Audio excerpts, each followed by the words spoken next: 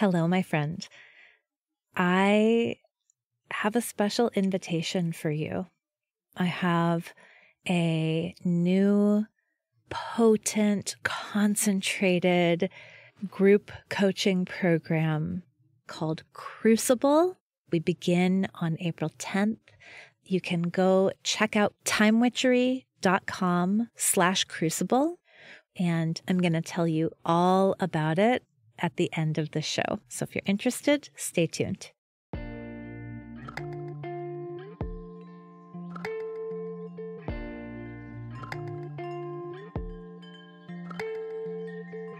Welcome to Mind Witchery.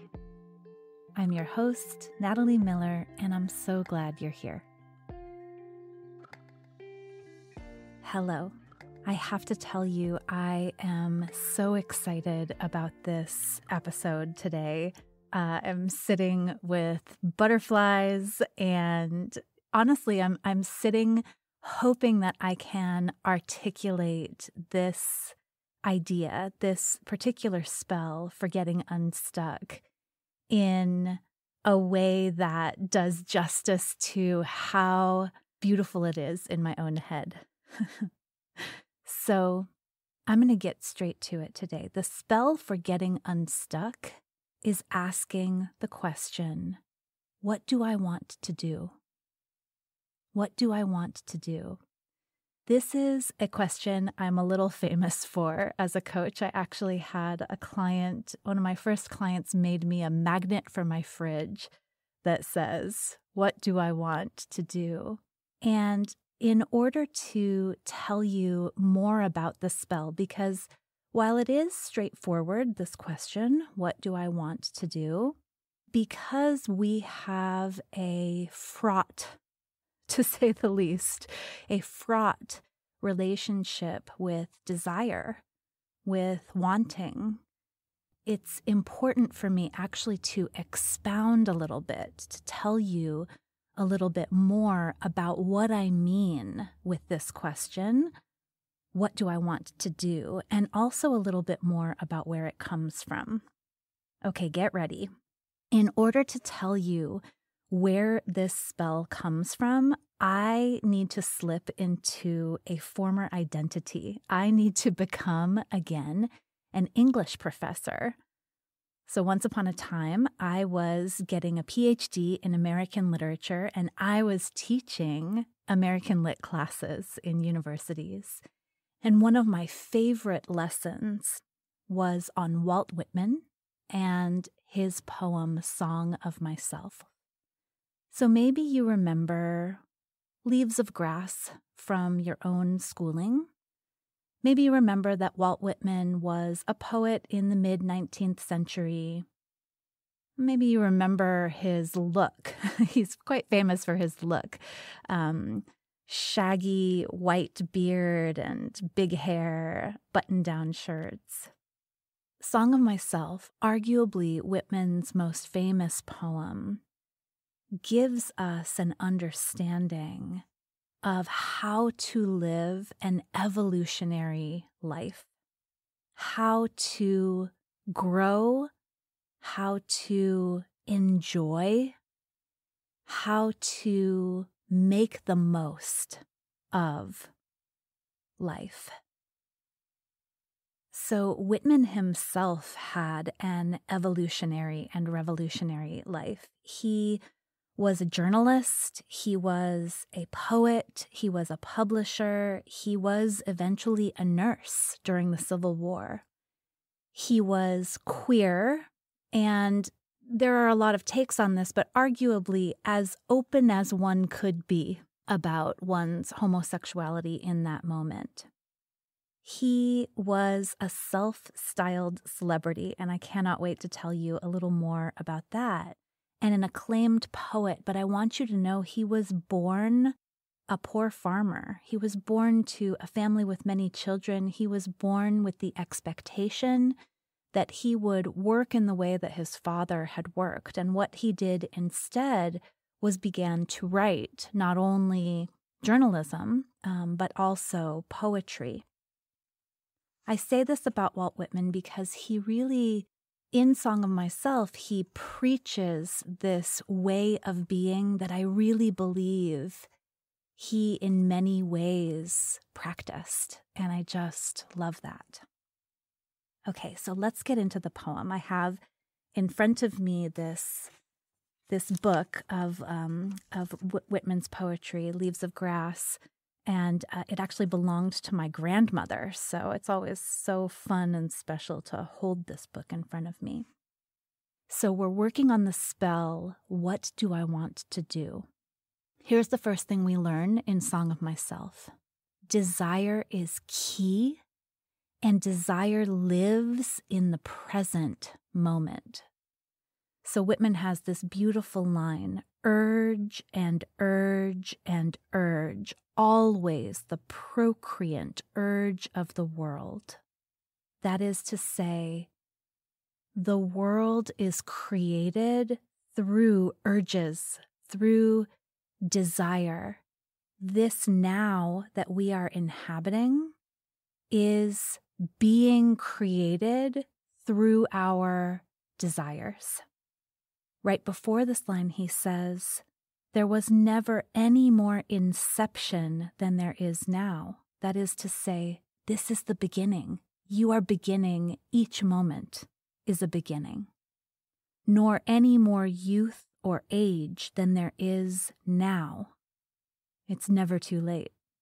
We learn at, the beginning of Song of Myself, he writes it when he's 37 and will never be any more perfection than there is now, nor any more heaven or hell than there is now. Now is the moment in which we do. Now is the moment in which we have power. And this is so easy to forget when we're stuck. I find that oftentimes when I'm stuck, when my clients are stuck, we're stuck because we're not living in this moment. Sometimes we are living in the past. This might look like a reluctance to do something new because no one you know has done it before. You look to past experience and you don't see any evidence of it, and so you imagine that you can't do this thing. Or it might be a papering of an old story onto a current moment. Like, I would like to start dating again, but the last time I dated, it was so disastrous. And so I won't because that thing might happen again. So sometimes we get stuck in the past. Sometimes we also get stuck in the future. We get stuck worrying about things that haven't happened. We get stuck creating worst case scenarios. We get stuck troubleshooting for troubles that aren't even here. So sometimes when someone has a big dream, I'd like to write a novel they get 20 steps ahead. Oh, but I don't have an agent. It's like, well, you could start writing today and then worry about the agent when it's time to worry about the agent. In every case, our power, our agency is in this moment. It is right now. It's not in the future. There will never be any more perfection than there is now, Whitman writes, nor any more heaven or hell than there is now. Now is where we move from. So when we ask the question, What do I want to do?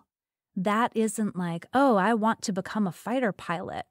Okay, that's a good big future dream, but the question for getting unstuck, what do I want to do right now, might be I want to read about becoming a fighter pilot.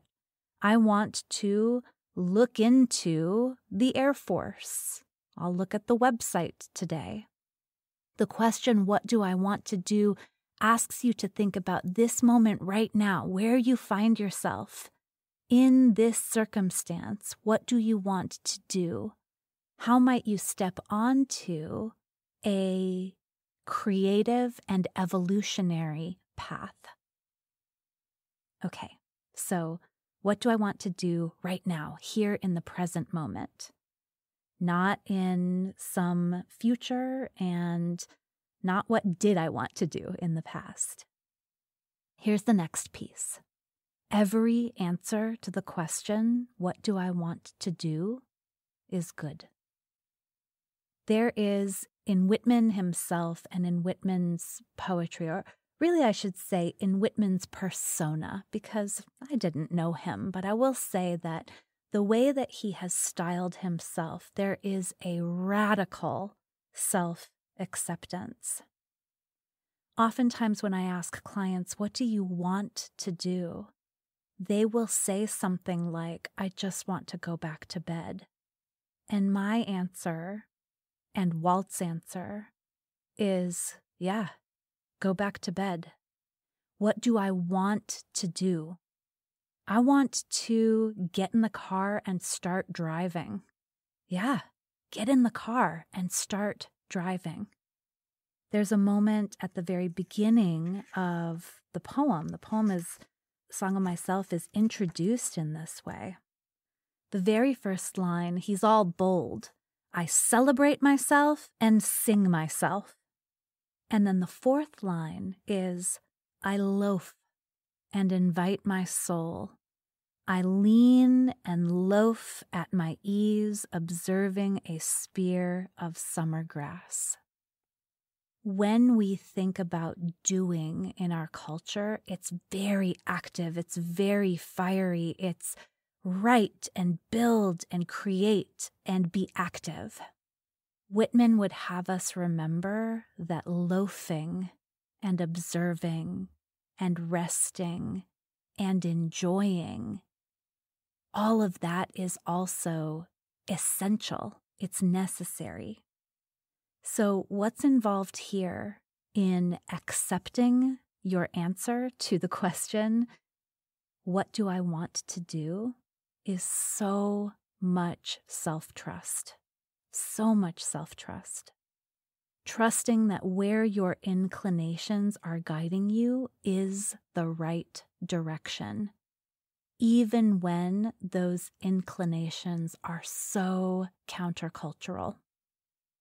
Elizabeth Gilbert, in her book Big Magic, tells this fabulous story. She talks about how, you know, she wrote Eat, Pray, Love, which was an extraordinary best selling book, and, and actually, which got as many haters, maybe that's an exaggeration, a lot of haters along with its lovers.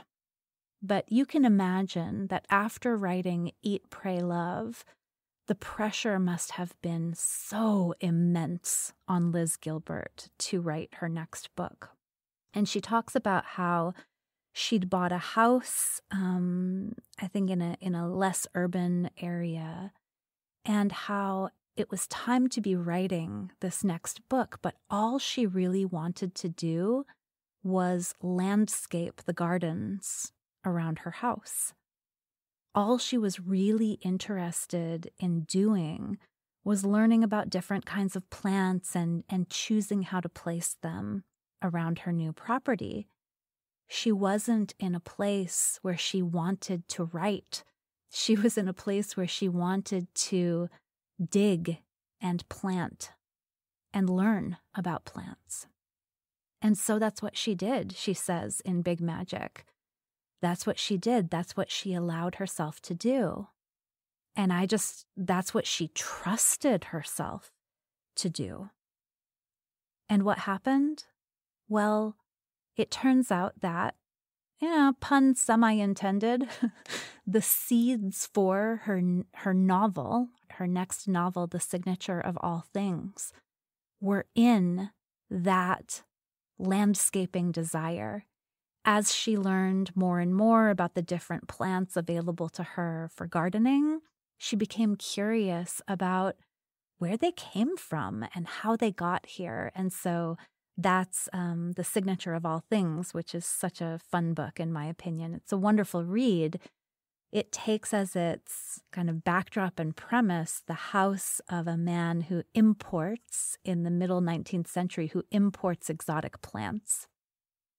So maybe you are stuck because you want to write something or record something or you want to create something and you can't quite seem to move forward. The question, what do I want to do?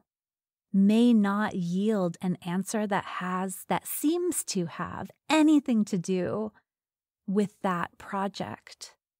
But what happens when you trust that the answer, take a nap, go for a drive, learn more about exotic plants, loaf and invite my soul to observe a spear of summer grass, maybe the answer to what do I want to do is actually the thing that will take you in the direction of this project or towards something better, something better suited, something that is more about who you're becoming.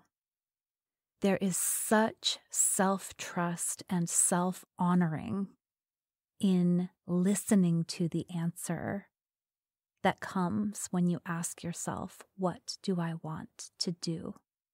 And I have to tell you, our friend Walt, again, at least in his persona, had that self honoring self trust. When I say he was a self styled celebrity, I really mean it when he published Leaves of Grass, he always published it with a photo of himself. And in the beginning, you know, it's like daguerreotypes, I think they were called, uh, the way that he was able to be rendered. And then each time he would release a next kind of version of Leaves of Grass, there would be a new photo uh, involved. And it's funny, I don't think he was taking them himself, but I like to think about him as sort of the original king of the selfie. He just always liked for you to see him. He wanted his body, his image, to be associated with his work. He also, and I, I want you all to appreciate this, he would re release Leaves of Grass. So most of it the same, but then with a small addition or a small edit. So I just want you to imagine if Beyonce just kept re releasing Lemonade, but with a different cover and one additional song. I mean, I, she sort of did with Homecoming. There's a lot of Lemonade in Homecoming. Um, just what kind of deep self honoring and and declaration of value of one's work is in that approach to being. When we ask ourselves, What do I want to do? And the answer is, you know, I want to talk about something I've talked about a million times, but in a different way. We heed it, we answer it. That's why I'm talking to you right now about this spell. What do I want to do? Okay, so number one, desire lives in the present. Number two, whatever your desire is, it's good. Walt Whitman says, I harbor for good or bad, I permit to speak at every hazard, nature without check, with original energy. Nature without check, with original energy. That is to say, listen to your desire, do what you want, and that is how you access original energy, meaning the energy of origin, the energy of new beginning, the energy that gets you unstuck. Okay, one more piece here. There is pulsation and flow in desire. Desire, like emotion, is meant to flow. So when we say it's all good, all the answers are good, that is to say, I want to cry on my bathroom floor, that is good, with a caveat. If you're stuck there, it's not exactly desire and want that is likely impelling your choices. When I ask myself, what do I want to do? I want to watch Netflix all day. Okay. Very likely, actually, for me, if that's my answer, I want to watch Netflix. I'll take off the all day because, again, desire is in the present moment. And I will sit down and I will begin to watch and I will enjoy myself. But if I'm really allowing myself to do what I want to do, the desire for more Netflix will eventually wear off. Have you all discovered this for yourself? When you really allow yourself to do what you want to do without any hitches or contingencies or self judgment, you just say, okay, this is what we're doing. We're eating brownies. Okay, this is what we're doing. We're watching television. Okay, this is what we're doing. We're crying on the bathroom floor. I'm not going to hold back. I'm just going to go with it. Without self judgment, without that pressing that brake, we indulge the desire and then the desire shifts because desire, like emotion, flows. So it is not a problem to be sad unless sadness doesn't flow into another emotion, in which case I need help reconnecting to the ability to allow emotion to flow a desire for a glass of wine is not a problem. A desire for glass after glass after glass after glass of wine, I'm stuck now. I'm stuck now. And so I may need help having a different relationship with desire. So I want to put that little kind of caveat in there or that, that, that understanding in there. What you want is good. And also wanting lots of things wanting lots of modes, wanting sometimes to celebrate myself and sing myself, and then wanting sometimes to loaf and lean and observe a spear of summer grass. It's that pulsation, it's that flow that also enables life to move forward, that also keeps me unstuck. It's actually another way of thinking about unstuckness the ability to move, the ability to evolve and to respond to the ever changing circumstances around me. So we know that Walt Whitman loved to travel. He traveled quite a bit for a person in the mid 19th century. And he also in his in his work days when he was a journalist in Brooklyn, he would often go out and wander the waterfront during the workday, and wandering the waterfront was not working, so meaning not writing. And also, he clearly did that as part of the process of writing.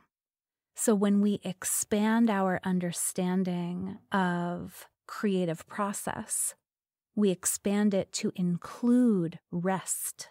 We expand it to include a walk along the waterfront. We expand it to include watching an episode of a great show. We expand it to include lying in bed all morning because it just feels so lovely in bed. When we expand our understanding of creative process and we accept it, when we ask ourselves, What do I want to do? and then we really do what we want, we keep that flow moving. We keep that urge and urge and urge, the procreant urge of the world, we keep it pulsing and moving. Pulsing, really importantly, sometimes ebbs and sometimes flows, sometimes flows and sometimes ebbs. And as this current of desire ebbs and flows, the landscape shifts. So I want you to imagine being at the beach and getting into the water, playing in the waves, and having a moment where there's a strong undercurrent that moves your body without you really noticing it. You're you're sort of playing in the waves as they rise and fall. And then you look up and you're several yards down the beach from where you began. We have to remember that when we are open to living with this flow of original energy, the flow of life, we are very receptive to co creation. We are receptive to being moved. So think of Liz Gilbert needing to write a book, and she had an idea, something that she was kind of toying with as her next book. But then by responding to the desire to landscape her garden, the current pulled her in a new direction, and she wrote a gorgeous novel out of that. She created something that she didn't expect to create. That is definitely a side effect of being in the world in this way. Being open to co creation means that new possibilities become available. When I'm asking myself moment by moment, what do I want to do? I'm responding to this present moment, what I can see right now. As we all know, after living through the year 2020, we can't know what will happen, how radically and deeply everyday life can change. We can't know the opportunities that will be available. We can't know the challenges that we'll face. And so when we go with the ebb and flow of desire, and when we allow ourselves to be moved by the deeper currents of creation, we find ourselves in this evolutionary way of being. That's how Walt Whitman eventually became a nurse in the Civil War, and how that occupation became part of his extraordinary life. He was writing and reporting, and he began to visit wounded soldiers and he loved it. He loved connecting with and caring for the men who had been injured. He loved being with the reality of the horror of war, turning toward it, understanding it, and bringing comfort to people who had fought in the war. He wanted to be there. He wanted to be with those young men. He didn't tell himself, oh, I'm a writer, I should be writing poetry. No, he did what he felt he needed and wanted to do. And then, yes, beautiful poetry and letters emerged as a result. So, when we use this spell, what do I want to do to get unstuck? We are in some ways releasing the need to control what happens next, or even maybe the illusion that we could control what happens next. We're opening up to a bigger energy, original energy, as Walt Whitman would call it, to move through us. At the same time, let's be real.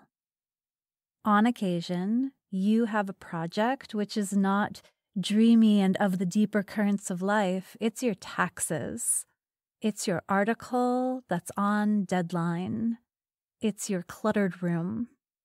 You can still use this spell in that place. What do I want to do? And you can still find something that will at least move you out of stuckness and in the direction of completing the project often for me, one of the best things I can do to spark action, to get myself unstuck, is to ask myself, okay, in this project, what's one thing I want to do? And then whatever that thing is, well, you know, I don't really want to write anything at all, but I do want to collect a couple of books that I wanted to reference. Okay, collect the books. Excellent. That's a step in the direction. When I ask myself, what do I want to do regarding my taxes, filing my taxes?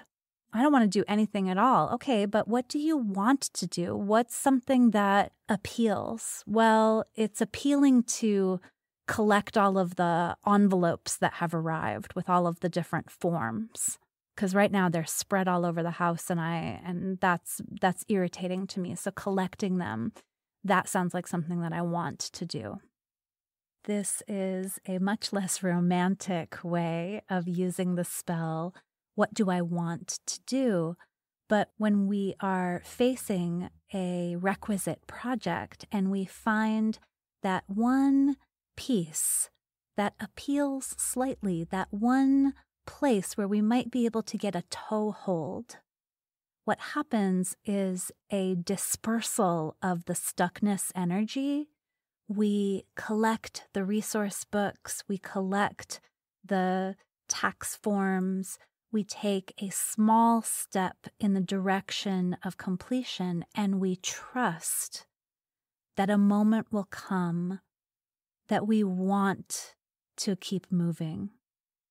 And that by opening up the flow of energy, by stepping into our power in this present moment, we've broken the curse of stuckness and we've begun to move in a new direction. Okay, the spell for getting unstuck is asking ourselves, what do I want to do what do I want to do right now in this moment? And then accepting the answer and watching as this desire takes us next to a new desire. Watching as whatever curiosity is sparked or reserves are replenished by the answer, by that action that we take, then leads us into the next action. To finish here, I want to read you a passage. It's near the end of Song of Myself. You are also asking me questions, and I hear you. I answer that I cannot answer. You must find out for yourself. This is so important. You are the only one who can answer the question What do you want to do? You're the only one. It's your wanting. You must find out for yourself. He keeps going. Sit a while, dear son. Here are biscuits to eat, and here is milk to drink. But as soon as you sleep and renew yourself in sweet clothes, I kiss you with a goodbye kiss and open the gate for your egress hence pulsing. Sit a while, have some food, have some milk, sleep, and then you go. Next line. Long enough have you dreamed contemptible dreams. Now I wash the gum from your eyes. You must habit yourself to the dazzle of the light and of every moment of your life.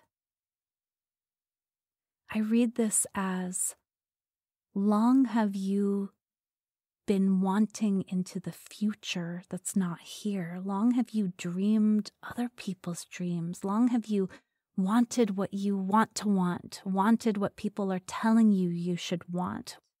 But now I wash the gum from your eyes. You must habit yourself to the dazzle of the light right here and of every moment of your life right now.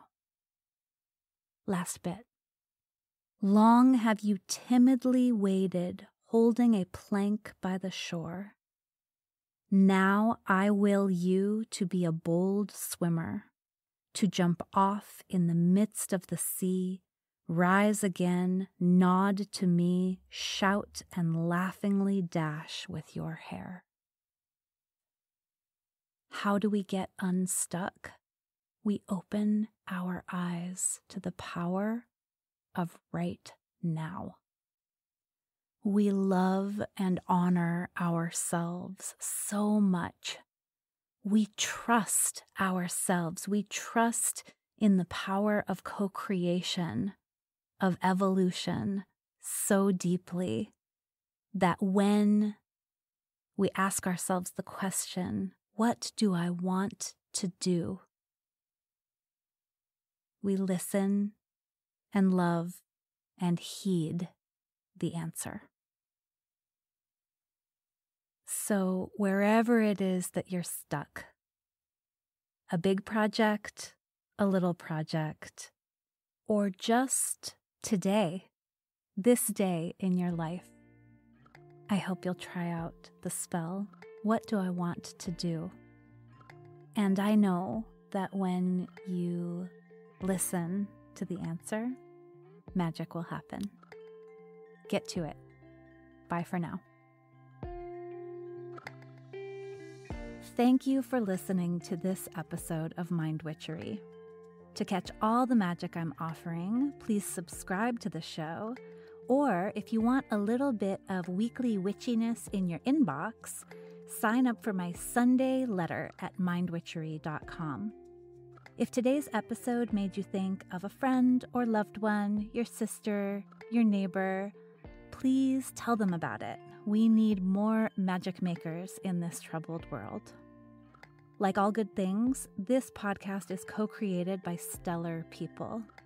Our music is by fabulous DJ, artist, and producer Shammy D. Our gorgeous art is by the sorcerers at New Moon Creative. Mind Witchery is produced in conjunction with Particulate Media, K.O. Myers, executive producer, and I am Natalie Miller. Till next time. Hello. As promised, here is a little bit of info about my new group coaching program called Crucible. You know what a crucible is? A crucible is a container in which transformation occurs. It's a strong container, basically like where you melt down metals so that you can make new things. You can make alloys. And my program is called Crucible because it is designed to give you a space where you can summon the courage, the inspiration, the momentum that you need to finally take action on to finally manifest that thing that you have been wanting to do. And what is that thing? I don't know. That thing might be a new offer if you are an entrepreneur. That thing might be the idea for the book that's been swirling around in your head. It might be an outline for that book. It might be a whole short story. That thing might be a job description for the assistant that you've been wanting to hire. That thing might be your own podcast. Whatever that thing is that you keep thinking, oh, someday I'd really love to make this happen. Crucible says, let's do it now and let's do it together. So, Crucible offers seven weeks of group coaching. Crucible offers insight into how it is exactly that I take an idea and make it real. Right now, this is not about me kind of imposing my method onto you, but it is about sparking your own creativity and insisting on a self honoring way of creating. Yeah? Crucible is about community with other people who are also making it happen. And I cannot even begin to put into words how valuable that is. How much of a difference it makes to be surrounded by other people who are expanding and growing into what's next. Crucible is in large measure about helping you to claim the time and energy that you need to create what's next. And so we'll use my anti planner, Time Witchery, to do that. We will use co working sessions that are hosted by Flow Club. I'm very excited about that part in particular. So, Crucible is not assuming that you have the willpower and courage and time and energy to make this thing happen. In fact, Crucible says, oh, yeah, let's give you a place to generate that, to generate all that you need in order to manifest what it is that you want next. So you are invited. You can go check out Crucible at timewitchery.com slash crucible. We begin on April 10th. We go through April and most of May. And then we get to take off for the summer, having finally taken action on that thing, that thing that you've been toying with, flirting with, wondering about, dreaming about for so long. So again, more details at timewitchery.com slash crucible. I super, super hope you will meet me inside.